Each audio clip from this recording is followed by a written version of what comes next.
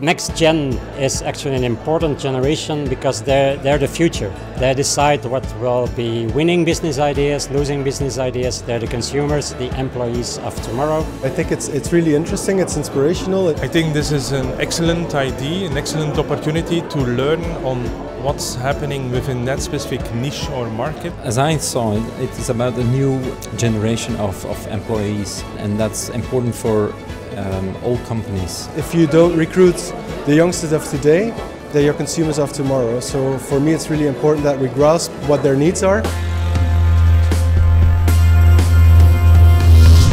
Ladies and gentlemen, I wish you a warm welcome. We are very happy you're here.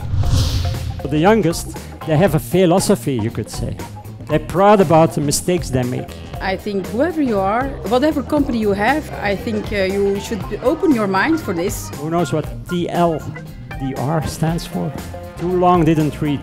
It was interactive. One, two, three, four blues. All the rest is red. It's a bit like our soccer team.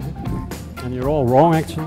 Where you think you know the answer, you know, and that was the good thing with the lightning sticks. You still saw a lot of people starting actually from their own generation. Chatting is the new popcorn, you could say. All of a sudden, you realize yourself that although you have a certain hunch, that those don't always coincide with what is generally happening. A commercial on YouTube, 7.3 million views in only a week. When you think of how uh, HR people, recruiters, can change the way they actually connect with the next gen, it's about, of course, finding new media, but it's also about self-empowerment. I want to create my own product. My name should be on it, and then it's good. Joeri has a way of bringing some extremes, but the extremes often make you open the path for growth and make you often think about well, what's next, what do I need to do, how do I take it into account for my consumers, for my shoppers, for my company. How could we face enoughism in the recruitment sector? No one wants to have the feeling that they're growing older. So one way of staying young is actually looking at your kids and imitating the behaviors.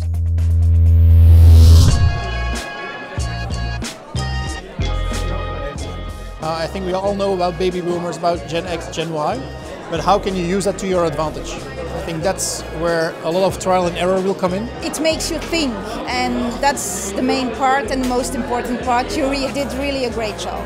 If you look at the future with an open mind, then I think you will be ready for the future.